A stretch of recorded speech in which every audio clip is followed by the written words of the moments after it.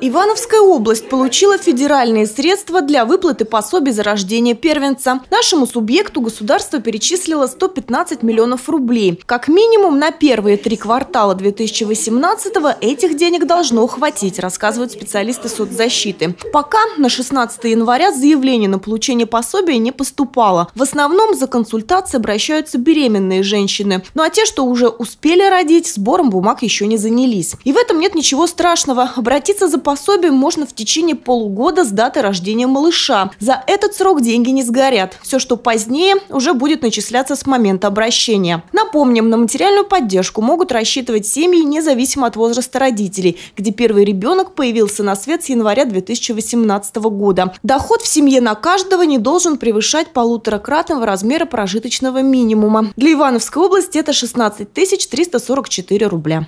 Размер выплаты составляет 9999 рублей. Это величина прожиточного минимума ребенка также за второй квартал прошлого года. Так установлено федеральным законом. За выплатой можно уже обращаться в органы социальной защиты населения или в многофункциональный центр, я повторюсь.